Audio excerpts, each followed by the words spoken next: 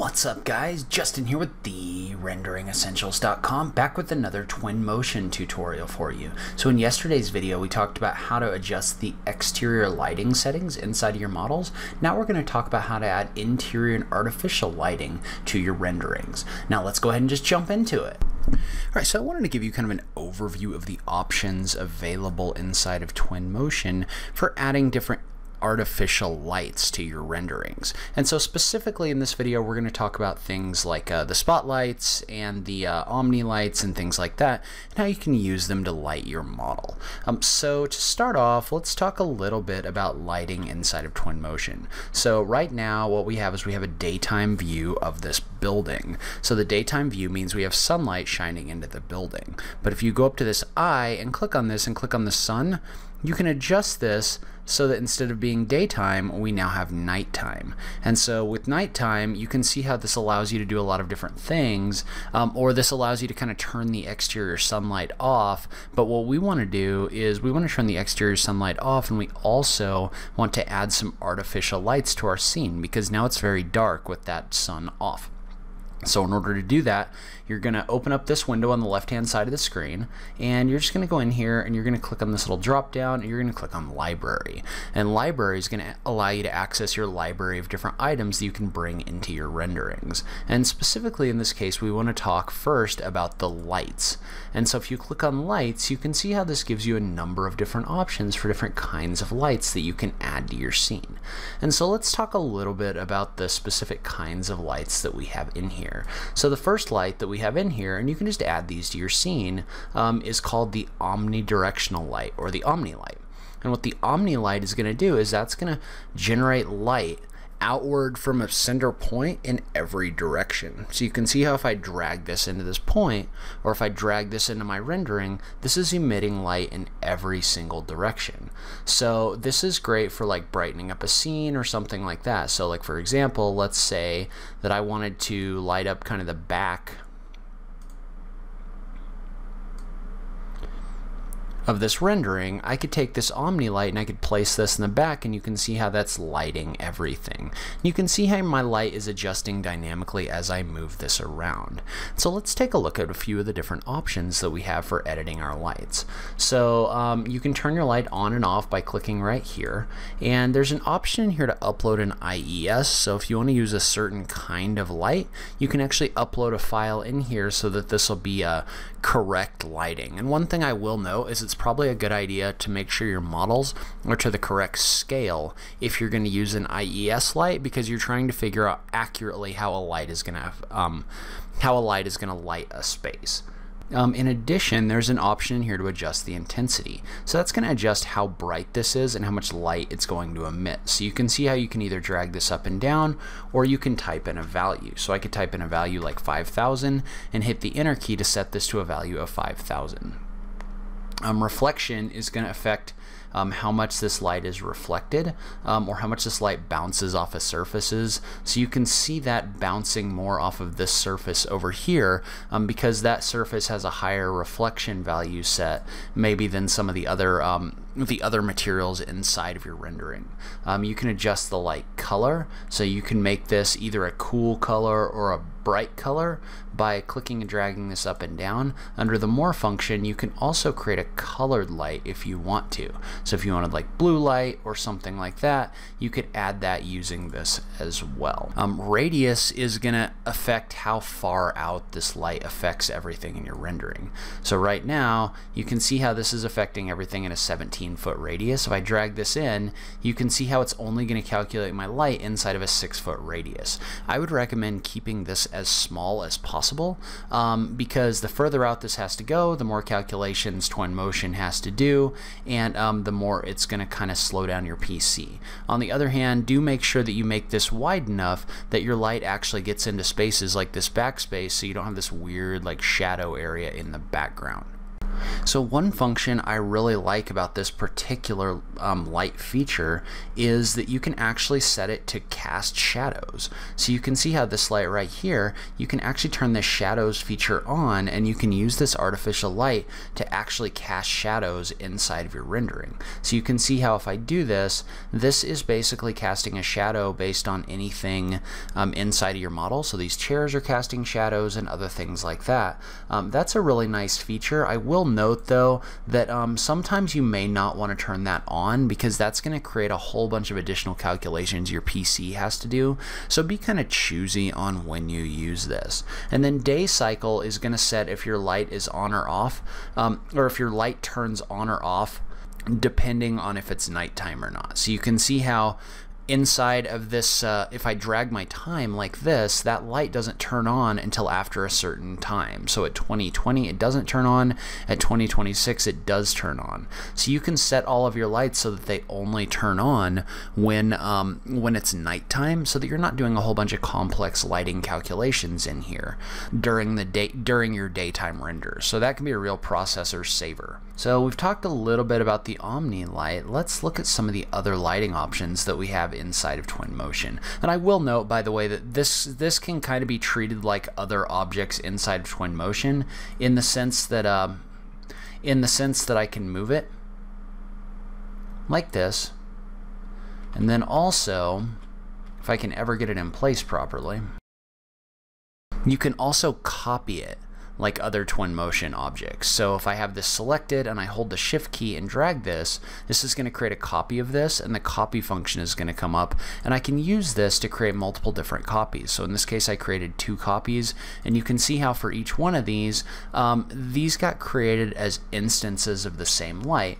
meaning if I was to come in here and adjust like the color of them or something like that for one of them, you can see how all three of them are going to change. So because these are instances of the same object, these are all kind of linked so that now if you change one, the others change as well, which can be a huge time saver. So now let's talk about some of these other lights over here. So in addition to an omnidirectional light, you can also add a spotlight. And so what a spotlight is going to do is where an omnilight shines light in um, all different directions, what a spotlight is going to do is a spotlight is going to shine light in one direction. So a spotlight is basically a light with direction. So um, you can see how as, when I place this, this light is only shining in this direction. And so what that means is you can point this at different locations or different things inside your rendering. So you can see how by adjusting the rotation here, I can adjust the direction in which this is pointing. So you can use this to point in a certain direction. You can also adjust things like the angle. So like for example, if I adjust the angle in here, you can adjust how, uh, how directed that light's going to be. So you can see how if I put a very um, if I put a very small angle in here, that's only going to shine like right on one point. Or if I click and drag this up like this, it's gonna the light's gonna go outward a little bit more. So you can use this to kind of adjust the the way and the direction in which that points. And then the other thing you can adjust is the attenuation meaning um, how far the light is going to travel from this particular light. So if I turn my attenuation down you can see how the light's going to travel less distance. So like for example, I can turn my attenuation to like six feet and all it's going to do is cast on this point. Um, if I turn my attenuation up higher, then you can see how that light's going to go further. And after a certain point, that doesn't really affect this too much anymore. Um, but uh, you can see how you can definitely use this in order to uh, in order to really fine adjust where your light goes and how far it goes and things like that. This will also cast shadows, so you can see how I can turn on shadows being calculated based on where this light is located. And there's multiple different lights in here that act different ways that are all spotlights. So all of these IES lights are all spotlights, but they all act different depending on which one you select. So you can pick the ones you like and bring those into your rendering. So there's also an option in here for a neon light, and the neon light is going to act more like a light bar or like a long light. So you can see how when I bring this in, this light is going to be more rectangular in length, and you can see how you can click and drag this to adjust the length of that light. So like for example, in this case, I don't need this to be any longer than this opening in here. So I could adjust the length of that using the settings over here and I could kind of fine place this. So and you can see how you can adjust and rotate that light as well. But it's basically like a bar that's shining light outward. And you can set if that casts shadows as well, um, as well as all the other settings that you could set with the other lights. And so one of the things that's a little bit unrealistic about this right here is that at the moment I've got kind of a, I've got a light in here that is casting light downward, but the problem is it's unrealistic in the sense that there's really no there's really no point that that light is emitting from, right? So it looks really weird in here because there's nothing that this light is coming from. It's just shining light down here. And there's no point in here. And I, I don't know that you can turn a point on in Twinmotion. And so what you need is you need to add something in here that kind of shows you where the light is coming from. And so what we're going to do just for this example is we're just going to add a primitive real quick. So a primitive is just going to be a shape that you can drag into Twinmotion. And I'm just going to scale that down. But what we're going to do is we're going to apply a special kind of material to this called an emitter. And so what an emitter is going to do is that's actually going to be a material material that emits light. And so in order to do that, we've got this point in here. Well, we're just going to use the material picker and we're going to select this. And what we can do is we can use we can apply a color to this that emits light. So in this case, we're just going to leave it as the M base color for right now. And I'm just going to go into my settings and if you look in your settings, there's actually an option in here for glow. And you can see how what glow does is this will take this material and it'll make it actually emit light. So now what we have, instead of what we had before, is now we've got kind of a spotlight look right here. So we've got a spotlight right here, but then we've also got an object in here with a material applied to it that actually glows. So this is going to emit light. And so one thing I want to point out is a lot of the time, depending on the surface area of your light, um, the, the more area you have, the more light this is going to emit. But like for example, if I go in and turn off this spotlight, you can see how this little light isn't enough to really light this area by itself. So usually what you'll see is you'll see a combination of spotlights or omni lights and emitters like this in order to really kind of fill out that lighting inside of your renderings. And I do want to note there are a couple other materials in here that are also emitters. So not only can you set a material as an emitter like we just did, we can also look into our materials and we can see that there's some neon materials. And so when you drag those in and apply those to something, like let's say I applied that to these countertops, you can see how these countertops are going to emit light. And so when these emit light, you can see how they're lighting my scene. And because there's so much surface area, those do a better job of lighting the scene. So a lot of the time where you'll use this, if you have a, is if you have like a hanging lamp like this one, you'll apply a color to the lamp and then you'll go into your settings and you'll turn the glow up and in this case, this seems to be taking on the glow of these uh, spotlights pretty well, so it's probably not that big of a deal. But a lot of the time, you'll set the materials inside of these um, to be an emitter so that your lighting looks more realistic. All right, so let's take a look at one more example inside of Twinmotion. So I'm going to turn my daytime on so we can see a little bit better. Um, but let's say, for example, that we had this space in here, but then we wanted to add some lighted objects like some bollards outside.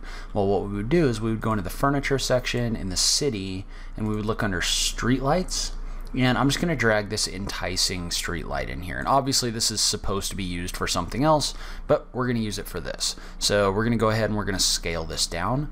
And then we will set this, we'll rotate this 180 degrees. What you're going to notice when we get into nighttime is this light right here is set as an emitter. So this material on this face is set as an emitter. If you go into the settings, the glow is set to 100%. Well, what we would do is for this particular object, we would add a spotlight. So we'd go to lights and we'd select a spotlight and probably I would select one that's maybe a little bit a little bit wider, not quite as not quite as directed. So maybe something like this IES 10 and then we would add this in here and we would rotate this so that it points out. So what we have is we have a spotlight in here in addition to our emitter, and what we can do is we can adjust that intensity up to adjust the brightness that's being shined out here by that emitter material. So I could bring that up to maybe like a 5000 or something like that. And one thing you might want to consider is actually looking up the values that lights actually um, that lights actually emit in real life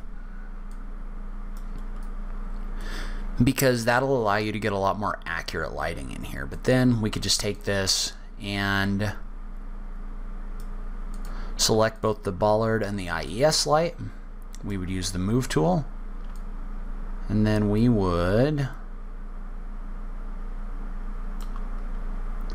create a couple different copies. And I'm just holding the shift key and dragging that in order to do this. So you can see how now what I have is I have these three lights out here um, that are casting light that you can then see, whoops, from inside your building. So, and then the last thing I want to talk about is now that you've got this lighting in here, you can see how let's say that we were to go in here and we would add an image like this one. So we'll just create a new image and we were to render that. So we've created our new image. We'll go to image 4 and we'll go ahead and export that and then we open up our image, you can see how this gives us a pretty good image, but one thing we're not really getting is we're not getting the lighting reflecting off of this glass in here. So what we could do in order to get the light off of this glass and get this to really kind of reflect that is to add in a reflection probe, which we've talked about in a previous video, but we'll go ahead and we'll add one of those in, and I will link to that video in the notes down below, but it's just in volumes in your library. And so what the reflection probe is going to do is this is going to set this so that it's actually calculating the reflections of the light inside of this rendering. So what you'd want to do is you'd want to make sure that this box is going to be big enough that it contains all of your different glass in here, but you can see how now I'm getting a reflection off of this glass that I wasn't necessarily getting before. So with this reflection probe in here, and note that that will make your computer run a bit slower, so be kind of choosy about how you use this. But let's say we have a reflection probe in here, and then we do another rendering. So we'll just export image 04 again. So this is our original image, and I'll kind of shrink this down. And then this is our new image, right here and you can see how now we're getting some reflections of the different lights coming off of our glass that we weren't before. So by adding those reflection probes and using those, the other thing is you'll notice that the, the contrast of the shadows here is much more realistic on this one than it is on this one, just because this is actually calculating the bouncing of the light. So you, you can use the reflection probe to get that extra little bit of realism inside of your rendering. So that's kind of a quick overview of the artificial lighting types available inside of Twinmotion. If you want, we can get more in depth on some of the features or something like that, but this should give you a pretty good idea of where to get started. If you like this video, please remember to click that like button down below. If you're new around here, remember to click that subscribe button for new rendering content every week. As always, thank you so much for taking the time to watch this. I really appreciate it, and I will catch you in the next video. Thanks, guys.